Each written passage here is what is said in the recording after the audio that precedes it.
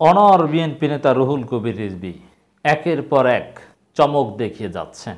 নানান উদ্যোগ ক্রিয়েটিভ কাজ, ব্যক্তিগত চিন্তা থেকে করছেন, কিন্তু টোটাল বিএনপিকে সুফল দিচ্ছে। বিএনপিকে তিনি তার ব্যক্তিগত চিন্তা থেকে কাজ করে উদ্যোগ নিয়ে অনন্য উচ্চতায় নিয়ে যাচ্ছেন। রাজনীতিতে বিএনপিকে ফিরিয়ে এনেছে রাইট ট্রাকে এনেছে এবং বিএনপির ভিতরে দালালদের মুখোশ রুল কবির রিজবি অনন্য ভূমিকা পালন করছেন। এক কথায় যদি বলি, রুহুল কবির রিজবি রাজনীতিতে এখন নতুন চমক দেখাচ্ছেন। দর্শক, রাজনীতিতে সামগ্রিকভাবে কালেকটিভ রোল যেরকম আছে বিরোধী দলগুলোর বা বিরোধী দলের, ঠিক তদ্রূপ কোনো ব্যক্তির ক্যারিসমেটিক রোল এটাও কিন্তু সফলতার নেপথ্যে গুরুত্বপূর্ণ ভূমিকা পালন করে। রুহুল কবির রিজবি আমার মনে হয় ক্যারিসমেটিক রোল প্লে করছেন। বিরোধী দলের চলমান গণতন্ত্র পুনরুদ্ধার আন্দোলন সফল হলে রুহুল কবির রিজভি সেই আন্দোলন সংগ্রামের ইতিহাস যখন রচিত হবে, তিনি স্পেশাল স্ট্যাটাস পাবেন ইতিহাসের পাতায়। দর্শক, আপনারা জানেন, একবার চাদর সুরে ফেলে প্রধানমন্ত্রী পর্যন্ত তার ফলাফল পৌঁছে দিয়েছেন, যে প্রধানমন্ত্রী নিজেই তার প্রতিক্রিয়া ব্যক্ত করেছেন। একেবারে ওবায়দুল কাদের, হাসান মাহমুদ, প্রধানমন্ত্রী, একেবারে ভারত। নরেন্দ্র মোদীর কানের মধ্যেও পানি গিয়েছে। হাজারো জনগণ, আমরা হাজারো অ্যাক্টিভিস্ট আন্দোলন করে যে পর্যন্ত বার্তাটা পৌঁছে দিতে পারতাম, তার চাইতে বেশি রুহুল কবির রিজবি চাদর সুরে দিয়ে বার্তাটা পৌঁছে দিতে পেরেছেন। এখানে কারও প্রোডাক্ট বর্জন করা তো উদ্দেশ্য নয়, উদ্দেশ্য হচ্ছে বার্তা দেওয়া। সেই বার্তাটা রুহুল কবির রিজবির চাদর সুরে ফেলার মধ্য দিয়ে গিয়েছে। সেখানে সীমাবদ্ধ নয়। দেখেন আরও এক ধাপ অগ্রগতি হয়ে আরেক চমৎকার উদ্যোগ রুহুল কবির রিজবির পরিবারের। এবং প্রধানমন্ত্রীকেও চমৎকার জবাব দেওয়া হয়েছে, কঠিন জবাব। ভারতীয় শাড়ি দিয়ে কাঁথা সেলাই করেছেন, করছেন রিজবির স্ত্রী। এর মানে ভারতীয় শাড়ি এটা পরার যোগ্য না। ওটা দিয়ে কাঁথা সেলাই করবে, ওটা ফেলে দেওয়ার মতো। একটা শাড়ি দিয়ে কাঁথা সেলাই করা মানে ওটা ডেট এক্সপার্ট ওটা ফেলে দাও। হ্যাঁ তো এখানে আরও কিছু বিষয় আছে। একটা জিনিস যখন ক্রয় করা হয়ে যায়, তখন তো ওটার লাভ যে পাওয়ার সে পেয়েছে, তখন সেটা না পারা হচ্ছে একটা প্রতীকী প্রতিবাদ। সেটা পুড়ে ফেলাটা যৌক্তিক নয়, তাতে কোনো কারও লস নেই।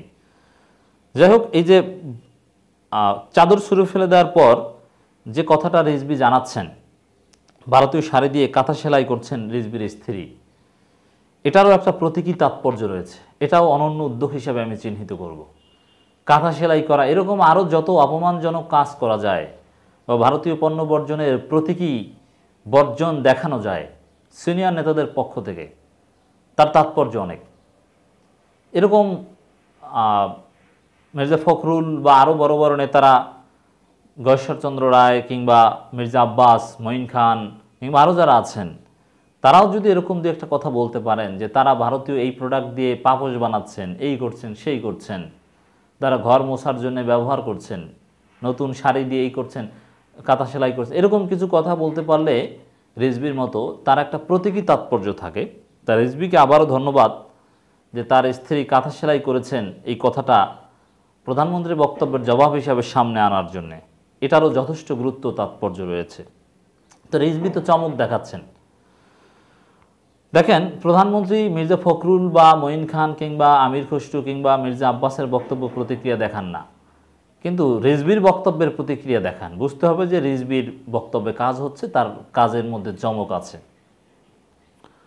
ভোট ডাকাত দখলদার সরকার, সরকারকে যে দেশ প্রকাশ্যে সমর্থন করে, সে দেশের পণ্য বর্জন করা ন্যায়সঙ্গত বলে মন্তব্য করেছেন সিনিয়র যুগ্ম মহাসচিব বিএনপির অ্যাডভোকেট রুহুল কবির। মানে আবারও ন্যায়সঙ্গত বলে দাবি করা।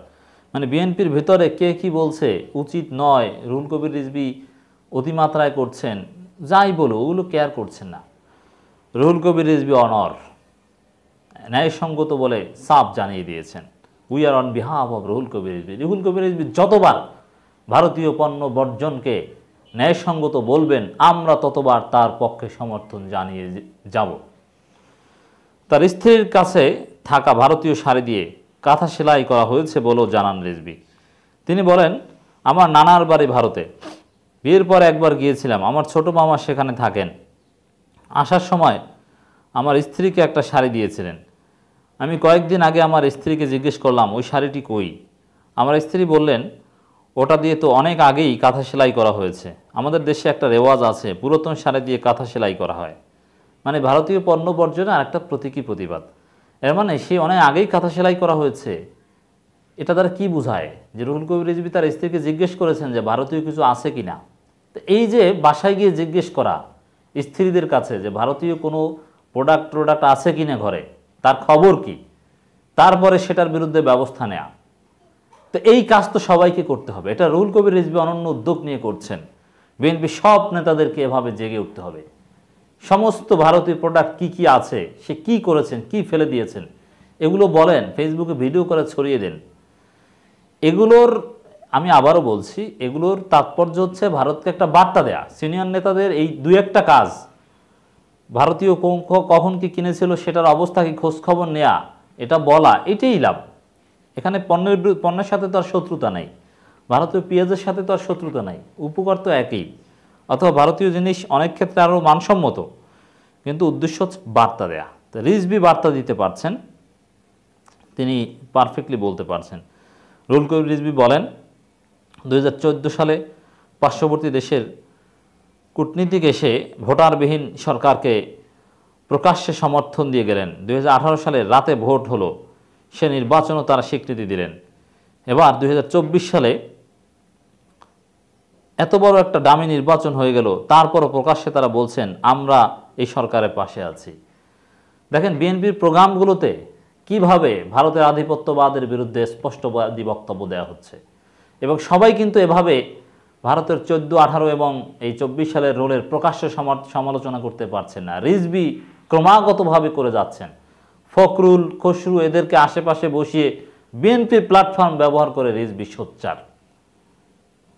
এটাই হচ্ছে রুহুল কবির রিজবির চমক। কোথাও রিজবি এই ভারতকে সমালোচনা করার সার দিচ্ছে না। রুহুল কবির রিজবির টুটি চেপে ধরার চেষ্টা করা হচ্ছে, স্থায়ী কমিটিতে তার সমালোচনা করা হচ্ছে। তারপরে সেই স্থায়ী কমিটির মেম্বারদেরকে সামনে বসিয়ে তিনি জোরালো কণ্ঠে ভারতের বিরুদ্ধে বক্তব্য দিয়েই যাচ্ছেন। We again thank Ruhul Kabir Rizvi অথচ ইউরোপীয় ইউনিয়ন, যুক্তরাষ্ট্র, যুক্তরাজ্য, অস্ট্রেলিয়া, কানাডা বলেছে আমরা সুষ্ঠু নির্বাচনের পক্ষে, আমরা কোনো দলের পক্ষে নই। যারা একটি ভোট ডাকাত সরকারকে প্রকাশ্যে সমর্থন করে সে দেশের পণ্য বর্জন করে ন্যায়সঙ্গত, তাদের বিরুদ্ধে যে সামাজিক আন্দোলন গড়ে উঠেছে, আমরা সে আন্দোলনের সঙ্গে সংহতি প্রকাশ করি। মানে আবারও রিজবি তার সংহতি পুনর্ব্যক্ত করলেন। এর মানে রিজবি অনর। বিএনপিকে আসলে তুলে ধরছেন, বিএনপিকে জাগিয়ে তুলেছেন রিজবি একা। বিএনপির মেরুদণ্ড সম্পন্ন নেতা এখন আমাদের দৃষ্টিতে একজনই, রুহুল কবির রিজবি আর তারেক রহমান, অন্য কাউকে ভারতের বিরুদ্ধে এভাবে সোচ্চার হতে দেখি না। মাঝে মাঝে দেখি গয়েশ্বর চন্দ্র রায়কে, জয়নুল আবিদিন ফারুককে। কিন্তু যারা এখনও ভারতের নাম ধরে ইশারা ইঙ্গিতে মির্জা ফখরুল কিছুদিন আগে বলেছে, কোনো বিদেশি রাষ্ট্রের তাবেদারি জনগণ মানবে না। কিন্তু কোনো বিদেশি রাষ্ট্র এরকম প্রোনাউন ব্যবহার করেন কেন? ভারত বলতে আপনাদের দোষটা কি? কোনো, অমুক, তমুক, যারাই প্রোনাউন ব্যবহার কর- করবে তাদের বুঝতে হবে সমস্যা আছে।